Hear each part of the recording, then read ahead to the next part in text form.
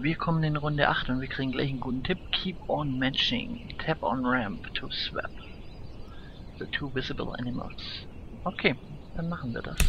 Wenn wir kein Tier haben, dann probieren wir zu swappen.